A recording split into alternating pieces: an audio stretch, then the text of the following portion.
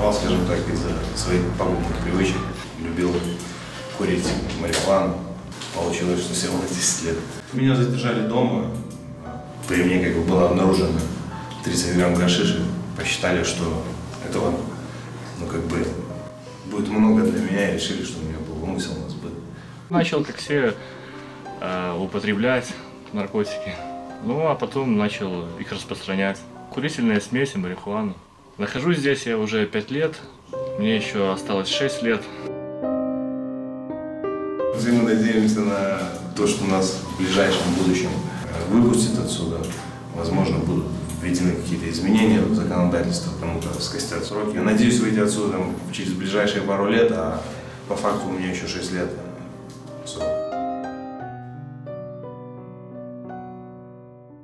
Работает у нас медработник круглосуточно, круглосуточно оказываем экстренную помощь.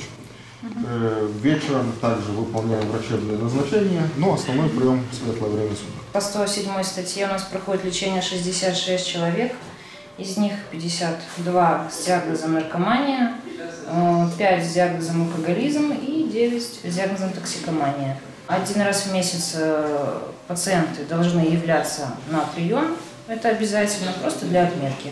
Вот, э, для того, чтобы в динамике наблюдать их состояние.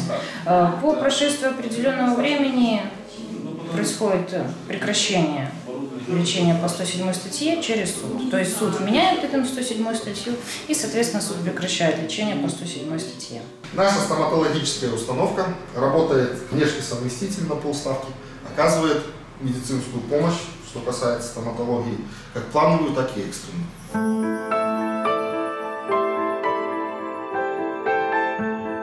В момент задержания я уже учился на четвертом курсе в нархозе в Минске. Вот. На заочном. В нархозе я учился на логистике маркетинг, а здесь уже исключительно маркетинг. Трудности были, немножко там родные помогали, там где-то просил там какие-то вопросы, там, если надо было уже с преподавателями, они там с волей уже могли как-то связаться какие-то вопросы. А так, в общем, нам предоставляли лекции дистанционно. Ты их читаешь, конспектируешь что-то, у себя в общежитии там готовишься, такие же практически. Так как я учился на заочном, я имею представление, и сравнивая, особо ничем не отличается. Э, Единственное, это отсутствие преподавателя рядом, когда он тебе нужен. Ну а в остальном всем тут тестирование, также, также сдаешь э, зачеты. Было, конечно, сложновато и как-то, знаете, немножко надо было сосредоточиться. Люди приехали, на 8 сдал Добров, я на семерку сдал экзамен. Теперь у меня высшее образование, с корочка. В принципе, неплохо.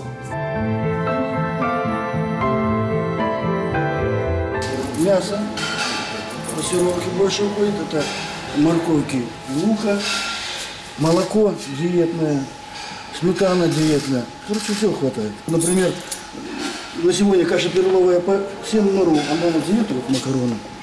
Осужденный может прийти, посмотреть, что у нас на завтрак, на обед и на ужин выдается.